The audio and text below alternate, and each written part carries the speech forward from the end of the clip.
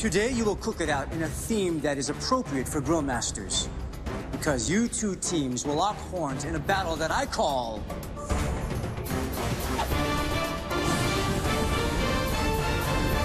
Surf and Turf! Really iconic ingredients, shrimp, beef, all stuff we know very well. It just belongs on a grill. Ooh, look at that. Yeah. I couldn't be happier of what we've landed on our feet. We've got the meat man. I love cooking meat. Loads of seafood. You know, that's just exactly how I like to cook. Bring it on. Over on uh, the Australian side of the world, uh, we've got the toothfish. That is in the hands of Chef Richardson. I'm making a grilled toothfish. I mean, toothfish is such a beautiful, gelatinous, soft fish. I thought by grilling it, you'd get some great flavours from it. Yeah. But to that, I wanted to add some chorizo sausage. Sausage always makes everything taste good, doesn't it?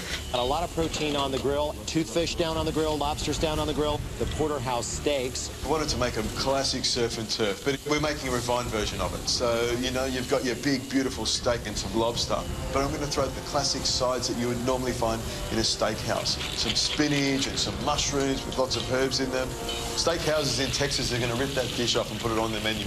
Time 34 minutes and change is what he's doing. All right, over on the Australian side, the grilled toothfish uh, is now going down. So uh, they have two plates in process. No, no, three, three actually, uh, with the uh, cuttlefish being plated uh, as well. So I think they're in good shape. All right, uh, then the grilled toothfish and chorizo. They do love their pork over on that side of the kitchen. And then finally, uh, a more five, four, Three. three, two, one. Put it down and walk away. This international surf and turf grilling challenge is history here in Kitchen Stadium. And what a battle it's been. Congratulations. Good job, man. Congratulations! Was it fun? So the cooking is over, and that means, of course, that our judges uh, must dig into their delicious task. Team Australia. Please tell us what your approach was to today's surf and turf battle. We took a technique that started with the caveman, and we wanted to put a modern twist on it. Chef, What we have here is Glacier 51, which is a sustainable fish that's caught, it's about a mile and a half down, so you have to hold your breath to go and get the stuff. And we've barbecued it on one side and we've just crisped up the skin and put it on top. There's also some chorizo sausage that's been barbecued as well to give it a bit of fat and flavour, I think. The fish is so superbly cooked. I mean, it's it's melting in my mouth. You're missing bread, so I can like sop up all of these delicious juices. Next time. If I was going to give you one criticism, I wish you had plated it with the grill marks up because when I turned my fish over, it's so beautiful and I love seeing those marks. But we're from down under, so everything is upside down. Right? You know what I mean? That's how we Good do point, it. there. good Yeah. point. thank you, Chef.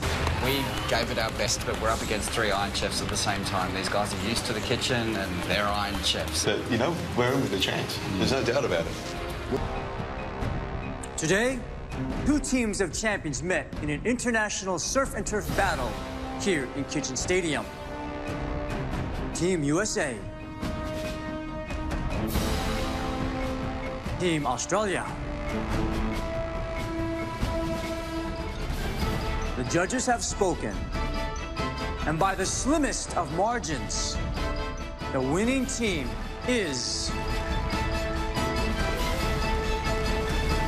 Team USA. I am Chef Flay. I am Chef Guarnaschelli. I am Chef Forgione. Yeah, I'm a bit bummed we lost. We're probably the first team ever to come from Australia as a team, so there was intense pressure, but it's kind of comforting knowing that we didn't lose by much. But we're coming back. Two great grilling powers clashed on the field of culinary combat today. And as the fragrant smoke of the battle clears, one country's flag is hoisted high, and the other, well, just not quite so much. But hey, there's always next year. I'm Alton Brown. On behalf of the chairman, Kevin Brauch, and everyone here in Kitchen Stadium, I bid you good eating.